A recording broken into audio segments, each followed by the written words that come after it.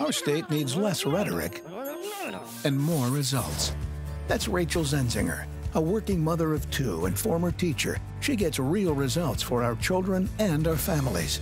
As a legislator, she created a bill for Colorado schools that saved more than $300 million and reduced the dropout rate.